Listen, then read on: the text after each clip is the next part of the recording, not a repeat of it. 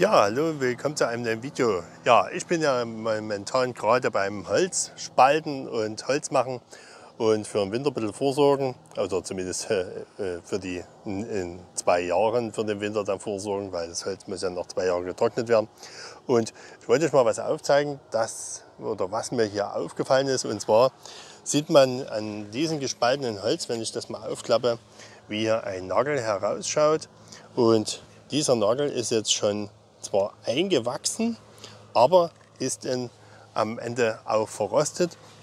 Und viele werden schon sagen, ja, wieso ist der Nagel verrostet, wenn der eingewachsen ist? Ja, da so ein Baum oder das Holz eine wasserführende Schicht ist, beginnt dann natürlich der Nagel hier zu rosten. Und hier drüben haben wir dann nochmal so ein anderes Beispiel. Seht ihr, wie der Nagel hier rausschaut.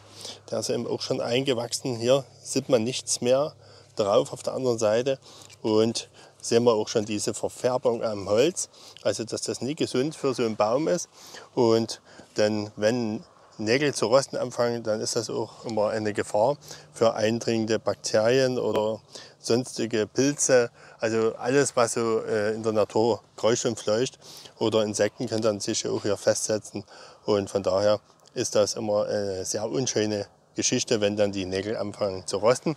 Und wer mal einen Nagel in den Baum schlagen muss, der sollte eventuell dann auf einen Aluminiumnagel zurückgreifen, weil Aluminium rostet ja bekanntlich nicht und schädigt dann den Baum nicht so immens. Ja.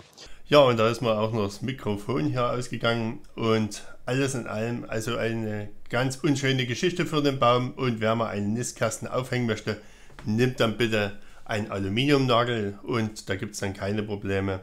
Und ja, wollte ich euch nur mal aufzeigen hier.